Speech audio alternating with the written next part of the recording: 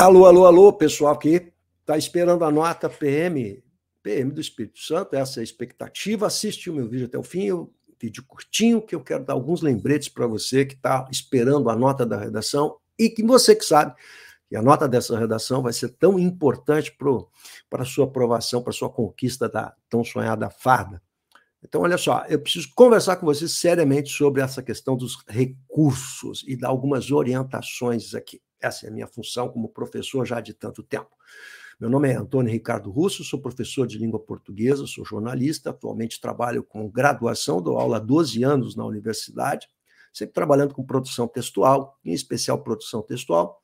Já fui revisor, corretor e avaliador, melhor dito, do, do Enem durante 10 anos, então já avaliei é, em várias bancas também de concurso público, as redações, de modo que eu tenho uma expertise muito grande de dentro das bancas, de como se observa a redação e qual é o olhar do avaliador, enfim, eu tenho essa experiência toda. E eu preciso falar muito sério com você algumas coisas aqui. Olha só.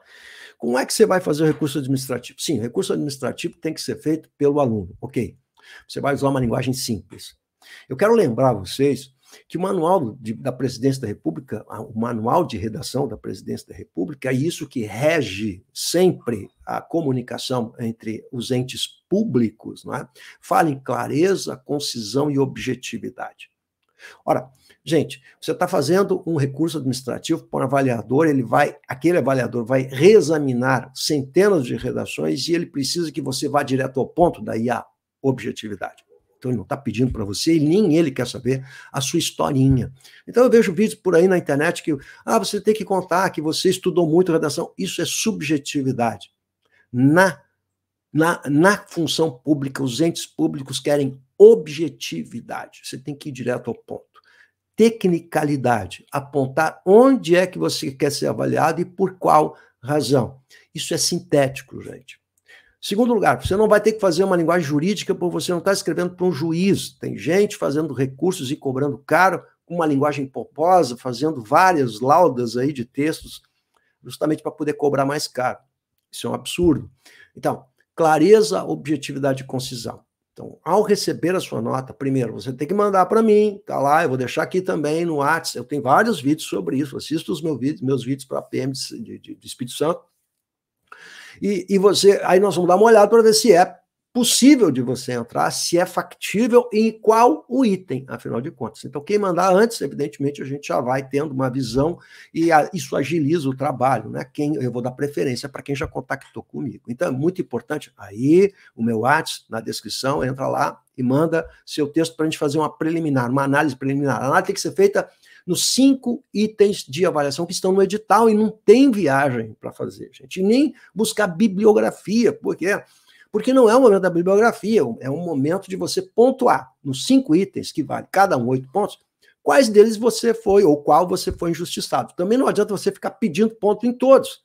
Você tem que ser pontual e objetivo. Olha, no item tal, adequação ao tema, eu, eu, o, que, o que o avaliador vai ver na adequação ao tempo? Vai ter de aparecer na redação aquelas palavras-chave, que é isso que eu estou verificando aqui com os alunos que estão me enviando a redação, as palavras-chave, que vão identificar saúde mental, importância, saúde mental na questão do trabalho. Essa, esses elementos estavam na frase temática, eles vão ter de aparecer na redação. Então, o avaliador ele vai ter que ver se esses elementos, essas palavras-chave da frase temática, aparecem no texto. Se aparecer no texto, você está satisfazendo a questão da Uh, adequação ao tema. Esse é o item da adequação ao tema.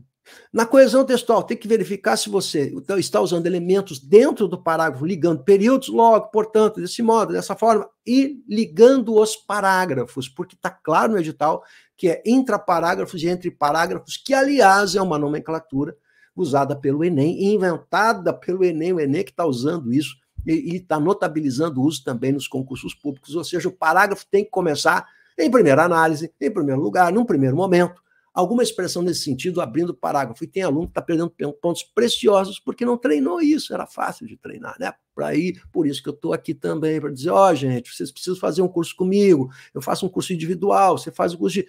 Dois meses eu deixo você afiadinho para conseguir fazer isso, mas é individual, não adianta trabalhar em grande grupo, eu tenho que trabalhar as dificuldades de cada aluno. É isso que eu tenho que fazer. Legal? Então, é, esses pontos, a informatividade, se você. Essa é a parte mais subjetiva e mais difícil de a gente discutir. A gramática não tem a gramática, ou tem crase ou não tem crase, ou tem acento, é o grande problema, é vírgula e ortografia. Tá bem?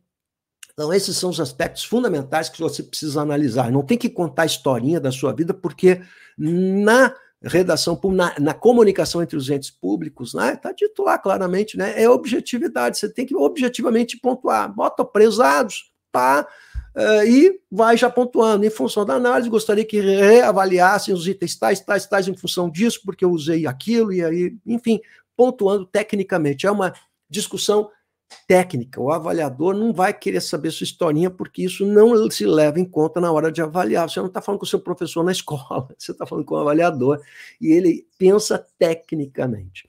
É preciso que você atente a isso, para não cair aí nessa falácia, nesses, nesse engodo, nessas coisas que andam nas redes sociais, que são muito bacanas, mas tem esse componente também com muita informação desencontrada, beleza? Se você tiver dúvida, manda um recadinho para mim aí, se você curtiu, recomenda o canal para a galera, que a gente está aqui para ajudar vocês, como um professor que de tanto tempo, são três décadas, costuma fazer, ajudar os seus alunos. Beleza? Tamo junto aí, abraço.